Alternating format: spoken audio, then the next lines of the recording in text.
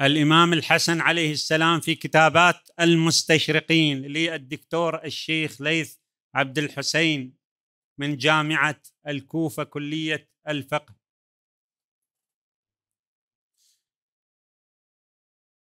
بسم الله الرحمن الرحيم والصلاة والسلام على محمد وآله الطيبين الطاهرين. صلى على محمد وآل محمد. الحضور جميعا مع حفظ المقامات والألقاب. السلام عليكم ورحمة الله وبركاته. نبارك لكم عيد الغدير الأكبر عيد الشيعة جميعا وعيد الموالين لأمير المؤمنين علي بن أبي طالب الذي كان في يوم أمس وكان ضمن فعاليات هذا الأسبوع الثقافي أسبوع الإمامة.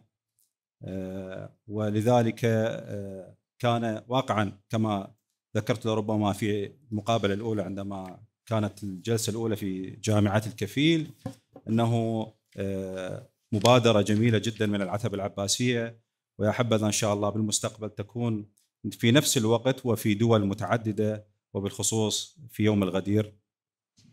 البحث يتناول مسألة المستشرقين وكيف تناولوا التراث الإسلامي بشكل عام والتراث الشيعي بشكل خاص. ملاحظة بسيطة جدا قبل أن نبدأ في هذا البحث هو أننا لربما حتى في هذه الأسبوع الإمامة خصوصا على الإمام الحسن والحسين لربما قرأت ثلاثة أبحاث. ولست الوحيد الذي كتب في مسألة الاستشراق حول مسألة الإمام الحسن ولربما الإمام الحسين.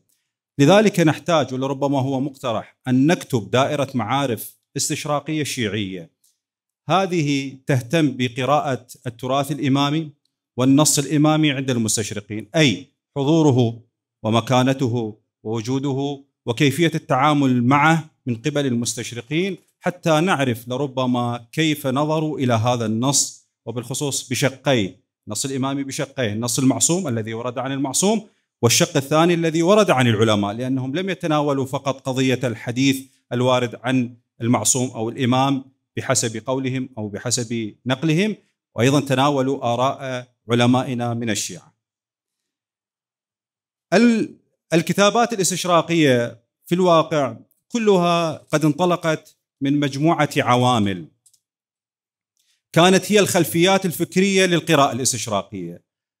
أولى هذه العوامل هو عامل أو أثر الحروب الصليبية إذ إن كثيرا من المستشرقين عندما جاءوا إلى الشرق أو ذهبوا إلى الشرق كان تأثير التاريخ الصليبي والحروب الصليبية التي كانت مع المسلمين لها أثر كبير جدا في قراءاتهم فهم لديهم حكم مسبق الأكثر طبعا وليس الكل حكم مسبق على أن هؤلاء هم أعداء وما شاكل ذلك لأن القضية آه، كل مستشرق لربما الانطلاقات الأولى كانت بدعم من الكنيسة فكان العنصر التبشيري ثم العنصر الاستعماري هو الأبرز ثم العنصر العلمي لربما للقراءة في التراث هو العنصر الثالث والأخير.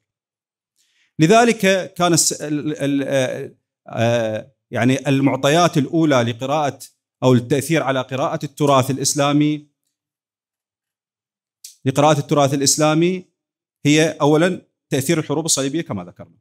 السبب الآخر هو الاعتماد على التراث السني فقط الحديث السني يعني التراث الحاكم تراث السلطة وهو الأكثر ففي جميع المكتبات عندما مثلا يذهب هؤلاء المستشرقون يجدون أن السلطة الحاكمة الموجودة هي سلطة سنية واقعا والتراث الشيعي هو مغيب وهو تراث معارضة لذلك يأخذون بالرواية السائدة الرواية الموجودة هي الرواية الحاكمة الموجودة. فلذلك كان في هذه الرواية أحكام مسبقة على التشيع على الأئمة وهم في كثير من إشكالاتهم لم يذهبوا بعيدا عن الإشكالات التي كانت موجودة أصلا في التراث الحديث السني في الكلام عن مثلا عن النبي الأكرم صلى الله عليه وآله وسلم وما شاكل ذلك عندما ذكره البخاري من إشكالات عليه وكذلك على الإمام علي عليه السلام والإمام الحسن والحسين وما شاكل ذلك.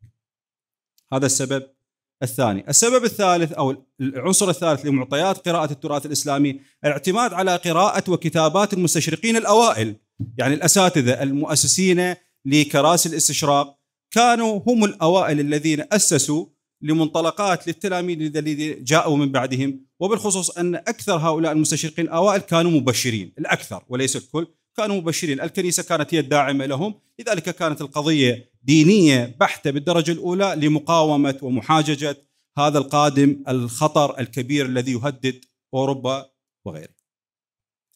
السبب أو المعطى الرابع الموجود هو قضية أنه الأدوات التي استخدموها أو المناهج التي استخدموها في قراءتهم للتراث الإسلامي عموما والتراث الشيعي تختلف عن عن أدوات المدرسة الإسلامية والمدرسة الشيعية بالتحديد. فهم من ضمن أدواتهم أداة مهمة جدا. نتاجها هو نفي التقديس. ما ينظرون إلى النص أنه مقدس يعاملونه معامله آه، اي أي نص عادي كما تسمى بالتأويلية أو الهرمونطيقية. أو الهرمونتيك هذه تعامل النص الأدبي. تعامل يعني القرآن يعتبرونه نص أدبي. حديث المعصوم نص أدبي. مضاف إلى ذلك ليس لديهم عصمة يعني ماكو شخص معصوم. هم ينظرون إلى انه ماكو معصوم. لذلك يمكن أن ينتقد أي شخص شخص يعتبرونه وليس له عصمة وإنما هي العصمة موجودة في عند المسلمين أنفسهم. لو جئنا إلى السيرة عموما كل سيرة وبخصوص سيرة النبي الأكرم صلى الله عليه وآله وسلم والأئمة من بعده وبخصوص الإمام الحسن فإن المستشرقين قد آه، تناولوا السيرة بهذا الشكل عموم باتجاهين أساسيين، الاتجاه الأول هو الاتجاه غير المنصف. كما ذكرنا تؤثرا بالأسباب الأربعة السابقة، والاتجاه الآخر الاتجاه العلمي البحت. أي يتعامل مع النص تعامل علمي بحت. واحد زائد واحد يساوي اثنين عنده. ماكو قضية أن هذا مثلا الإمام الحسن هنا هذا الحديث لا يمكن أن نقبله بحقه لأنه معصوم. هذا ما عندهم هو القضية حتى لا يقبله. لذلك الروايات التي آه، أثيرت على الإمام الحسن عليه السلام بانه مزواج مطلق وغيره هذه تتعارض مع ثابت العصمة عند الإمام عليه السلام. لذلك لا نقبلها. حتى عندما وردت مثلا روايتين في الكافي حول هذه المسألة قلنا بأن الكافي قد جمع هذه ولم يحقق مثلا في صحتها لأنه لو جئنا إلى محاكمة هذه الأحاديث طبعا مجمل الأحاديث يعني باعتبار الآن إحنا نشكل إنه لامنس لماذا تكلم وأشكل على الإمام الحسن عليه السلام لأن هنالك روايات في التاريخ الإسلامي قد ذكرت بأن الإمام الحسن مزواج ومطلاق أثيرت عليه تقريبا ستة شبه رئيسية. أن الإمام الحسن مزواج مطلاق أنه وجد معاوية أهلا للخلافة فأعطاه الخلافة أن الإمام الحسن كان يكره الجهاد والحرب إنه قد أذل المؤمنين إنه كثير المخالفه لأبيه إنه كان مهتما بالدنيا والمال والملذات. ست إشكالات رئيسية. المجموع في المدرسة السنية 15 رواية بهذا الخصوص. في المدرسة الشيعية أو المحسوبه على الشيعية ستة روايات. أساس هذا الخلاف الذي انطلق منه هنري لامنس وغيره من المستشرقين في إشكاله على الإمام الحسن وغيره هي رواية الرواية الأولى المؤسسة هي رواية الواقدي وبدفع ودعم من أبي جعفر المنصور كان كاتبه على الكرخ أو قاضيه على الكرخ هو الواقدي صاحب المغازي. والكاتب الذي دونه أبن سعد كان تلميذ الواقدي وبالتالي انطلقت هذه الرواية ثم ذكرت في الكثير من الكتب. كان الكتاب الأول الذي ذكرها هو الطبقات لابن سعد باعتبار هو الواضع. والسبب الأساسي ثورات الحسنيين على على العباسيين. كانت منطلق في التشويه. حتى أن رواية التي ذكرت بأن يا أهل العراق يا أهل الشقاق والنفاق هي رواية أبي جعفر المنصور. هو نسبها لأمير المؤمنين وهي لم تنطلق منه. لذلك كان قراءة التراث بالنسبة للمستشرقين وبالخصوص هنري لامنس الاتجاه غير المنصف وغير المقبول والذي يعتبر الإسلام عدوا ولربما إشكالات كثيرة تثار باعتبار هذا خطر والآخر هو التعامل العلمي البحت وبالتالي استخدام أدوات ربما تنفي العصمة والاحترام عن النص. كثير مما من المستشرقين وممن كتب على الاستشراق أشار وبدقة على أن هنري لامنس هذا المستشرق الفرنسي هو راهب مسيحي هو غير منصف. والكل يعلم أن أكثر شخص ترجم النتاجات الاستشراقية هو الكاتب المصري عبد الرحمن بدوي. هذا معلوم يعني. لذلك لنقرأ ماذا يقول عبد الرحمن بدوي مع العلم. هو الرجل ليس ب... ب... نسميه متدين يعني. والرجل آه، كان لربما معروف عنه أنه الاتجاه المادي أو الاتجاه الشيوعي أو الإلحادي. في الفترة الأخيرة لربما صار معتدلا. يقول في كتابه موسوعة المستشرقين هنري لامس يعرفه يقول مستشرق بلجيكي وراه بن يسوعي شديد التعصب ضد الإسلام يفتقر افتقارا تاما إلى النزاهة في البحث والأمانة في نقل النصوص وفهمها ويعد مثالا سيئا جدا للباحثين في الإسلام من بين المستشرقين. يعني هو حتى كثير من المستشرقين قالوا أنه هو غير منصف وكان معاد لديه كثير من الكتابات يذكر مقولة هذه واحدة من المقولات. أنا ذكرت ما يقارب أربع أو خمس مقولات لهذا المستشرق عن الإمام الحسني بالخصوص طبعا هو تكلم وانتقد من النبي الأكرم صلى الله عليه وسلم إلى باقي المعصومين حتى أنه عند كتاب فاطمة وبنات النبي ينتقد به السيدة فاطمة عليه السلام وباقي أولاد النبي الأكرم صلى الله عليه وسلم. أقصد الأبناء يعني الحسن والحسين هم أبناء. يقول مثلا هذه مقولة. يقول هنري لامنس إن الصفات الجوهرية التي كان يتصف بها الحسن هي الميل إلى الشهوات والافتقار إلى النشاط والذكاء ولم يكن الحسن على وفاق مع أبيه وأخوته. انظر نفس الشبهات اللي موجودة الستة اللي ذكرناها هي جزئية يعني هو ناقلها من المدرسة السنية ووضعها هنا بهذا الكلام. وعندما ماتت فاطمة ولم تجاوز الشباب يعني كان على خلاف مع أبيه عندما ماتت فاطمة ولم تجاوز الشباب وقد أنفق خير سني شبابه في الزواج والطلاق فأحصى له فأحصي له حوالي المائة زيجة. عدا وألصقت به وألصقت به هذه الأخلاق العذرا للتعبير. هذا هو ذكره السائبة لقب المطلاق وأوقعت عليا في خصومات عنيفة. بينما إذا أردنا أن نستعرض أحاديث النبي الأكرم صلى الله عليه وآله وسلم بحق الحسن بالخصوص نجد أنها مخالفة يعني مخالفة تامة 100% إلى هذا الكلام. ثم إلى أحاديث الإمام علي عليه السلام ثم إلى سيرته عليه السلام. وهذا يتعارض مع ثابت كونه معصوما عليه السلام. يقول مثلا في وصية الله أمير المؤمنين يقول فبادرتك بالأدب قبل أن يقسو قلبك ويشتغل لبك لتستقبل بجد رأيك من الأمر ما قد كفاك أهل التجارب بغيته وتجربته فتكون قد كفيت مؤونة الطلب وعوفيت من علاج التجربة. إلى الكثير ووصايا الإمام علي إلى الإمام الحسن عليه السلام كثيرة جدا. أنا لا أريد الإطالة. لكن أقول أن الشبهات الاستشراقية كثيرة جدا بخصوص المنظومة الإسلامية وهو اختلاف بالمنظومة. هذه منظومة وهذه منظومة. وعلينا أن نميز. ولا نذهب بالانتقاد إلى قول أنه قضية قضية عداء 100% لا اختلاف أيديولوجي. هي لا قضية قضية العداء يأتي بعد الاختلاف الأيديولوجي. باعتبار أن هذه الأيديولوجية هي أيديولوجية مثلا مسيحية أو أوروبية أو غربية تختلف عن الأيديولوجية العربية والإسلامية. تاريخ التبشير كان يعني المسيحية هي مبشرة وتذهب إلى قضية التبشير والكنيسة قائمة على مسألة التبشير. لكن ما حفزها أكثر إلى استخدام التبشير بشكل أوسع ولربما استخدام الجيوش في التبشير هو ظهور الإسلام. الإسلام كان ندا قويا جدا لهم حتى أنهم في تبشيرهم نعم كانوا يبشرون الشعوب لكن لم يذهبوا إلى قارة إفريقيا إطلاقا القارة السوداء الذي يقرأ تاريخ التبشير لكن مع وجود الإسلام ذهبوا إلى هذه القارة للتبشير. فكان الأساس في الانطلاق في البعثات الأولى الاستشراقية هو مسألة التبشير والمسألة الثانية الاستعمار ومسألة الاستعمار أن الاستعمار أو الحروب تقوم دائما بدوافع دينية ودوافع اقتصادية وهي الأكثر من هذه الدوافع. فلذلك ذكرت كمثال هنري لامس باعتباره أحد المستشرقين المنتقدين للإمام الحسن عليه السلام وللتراث الإسلامي وبشكل عام لربما إن شاء الله سوف يطبع هذا البحث كاملا آه، ليطلع الأخوة على جملة التفاصيل الموجودة مع المصادر المذكورة. والحمد لله رب العالمين والصلاة والسلام على محمد وآله الطيبين الطاهرين. صلى على محمد. شكرا جزيلا للأخ جناب الدكتور الشيخ ليث عبد الحسين على بحثه القيم هذا. السلام عليكم.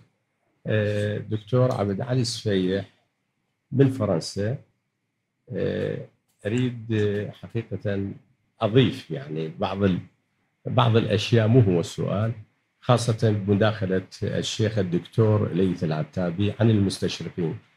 أنا بحكم عملي في وزارة التربية والتعليم العالي الفرنسية كمستشار الآن متقاعد و45 سنة قضيتها.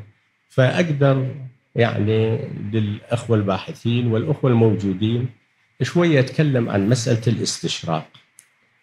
عملية الاستشراق اللي حدثت هي جمعت الكل لكن لحد اليوم أنا في الوزارة يعني يهيمن على الفكر المفكرين والفلاسفة والأدباء وحتى السياسيين الخوف من الإسلام. ليش؟ لأن ظاهرتين حدثت في أوروبا. اجى الإسلام وحكم أوروبا من الجنوب. في القرن الثامن الميلادي حوالي 770 أو يعني في الأندلس وبقى إلى 1492 ومن الشرق في نفس الوقت حكمها الأتراك. فقومتين حكمت في الاسم العرب والترك حكموا باسم الإسلام من القرن الثامن الميلادي إلى القرن العشرين. هذه واحد. فولت خوف عند الأوروبيين جميع المستويات أن يرجع لهم الإسلام مرة أخرى ويحكمهم. هذا الخوف موجود. يعني شرعي بالنسبة لهم. ولذلك قد تسمعوا لي أول مرة. ولذلك المستشرقين لما إجوا اشتغلوا لكي يعرفون أرادوا يعني أن يدرأوا الخوف من يأخذ الراية الإسلام قوم آخرين. أخذوه العرب وأخذوه الأتراك وأخذوه المغول قوم آخرين. من هم المرشحين؟ ليس العرب لأن ابن سعود أعلن فورا المملكة العربية السعودية وأبعد الخوف من يعني الاسم الإسلام كانت إيران والهند. لأن إيران كانت أكبر مستودع للإسلام الشيعي في العالم والهند أكبر مستودع للإسلام السني في العالم قبل 47 طبعا.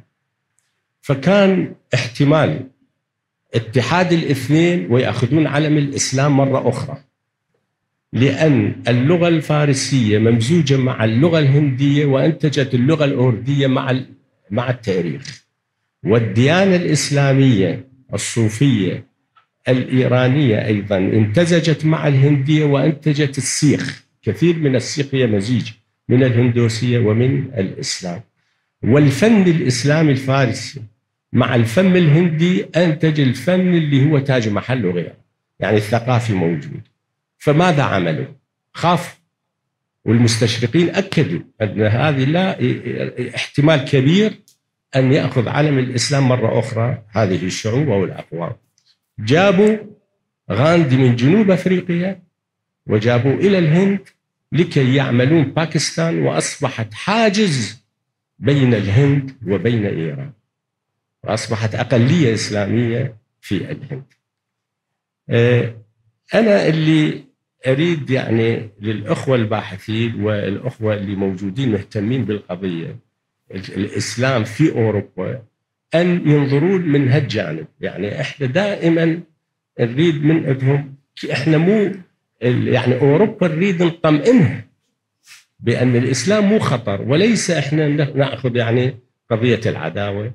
وأما بالنسبة للمستشرق اللي ذكره الدكتور ليث هو ليس مستشرق مهم هو بلجيكي وليس فرنسي. يعني مثل ماكسيم رو- رودنسون من أفضل المستشرقين ومستشرقين آخرين ما يعتبرون. والاستشراق أيضا من الناحية العلمية يأكدون لحد اليوم عليه الدراسات. أضرب لكم مثال وأختم كلامي. أنا من جيت إلى فرنسا أنا كان عندي دكتوراه في الزراعة. أنا ليس في لكن هم بعد ما اشتغلت كمستشار طلبوا مني أن أعمل دكتوراه في الإمام علي. ليش؟ لأن قالوا المستشرق الفرنسي لويس ماسينيون هو الذي عرف فرنسا وأوروبا بالإسلام. وتلميذه هنري كوربان هو الذي عرف فرنسا وأوروبا بالتشيع. وأنت لكونك عراقي وشيعي عرفنا بعلي بن أبي طالب لكي تكمل الحلقة. فالأدب الاستشراق مهم لمعرفة الشعوب الأخرى كيف تتعامل؟ وشكرا. شكرا جزيلا لجناب الدكتور. السلام عليكم ورحمة الله وبركاته. دكتور نزار ناجي محمد محافظة البصرة. حياك طبعا السؤال سؤال الدكتور ليث العتابي. آه، بالنسبة بس توضيح للمستشرق هنري لامس هو بلجيكي المولد ولكن فرنسي الجنسية هاي كملاحظة ما أدري. أنا قاريها عند نجيب العقيقي. وضح هاي الشغلة قال هو بلجيكي المولد وفرنسي الجنسية. آه، المعلومة الثانية لم يوضح الدكتور ليث العتابي مسألة عينة الدراسة. ما هي عينة الدراسة؟ المعروف عن هنري لامس هو مستشرق كثير أو غزير النتاج المعرفي سواء على الكتب أو حتى على المقالات والبحوث. الدكتور ليث العتابي لم يوضح عينة الدراسة، هل هو كتاب؟ هل هو مقالة؟ هل هو بحث؟ مع العلم انه آه، الإشادة بالبحث اللي قدمه والتوصيات اللي قدمها كانت راعده والشكر الجزيل له شكرا لكم. السلام عليكم ورحمة الله وبركاته. كما ذكر جناب الدكتور طبعا كما ذكر الدكتور عبد العلي سفيه هو بالأساس آه، مستشرق اصله بلجيكي وأخذ الجنسية الفرنسية وأكمل دراسته في لبنان في آه، جامعة اليسوعيه سان جوزيف. أخذ هناك في الأدب العربي كما ذكرت. قضية العينه أنا ذكرت ذكرت حديث آه، له ومن ضمنه اللي اخذته كانت العينه من موسوعة أو انسيكلوبيديا آه، العالم الإسلامي اللي هي من جمع فينسنك واخذ منه نماذج. عندما وصل إلى الإمام الحسن استشهد بنص لهنري لامنس. ففينسنك هو الجامع وهي الانسيكلوبيديا الإسلامية أو دائرة معارف الاستشراق. كما ذكرت فالعينة هي من دائرة معارف الاستشراق الإسلامية أو المعروفة بدائرة المعارف الاستشراقية. شكرا جزيلا بل تفضلوا جناب دكتور كريم حسين ناصر.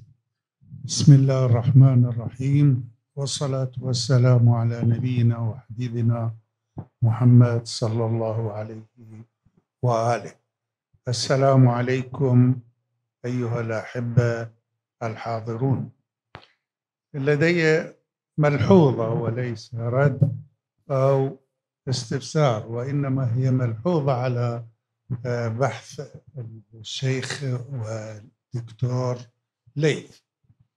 آه، أنا أثمن ما ذكره الدكتور حول آه، بحث في بحثه عن الاستشراق ولكن وددت أن أبين هذه الملحوظة. الملحوظة تتطرق إلى ثلاث نقاط.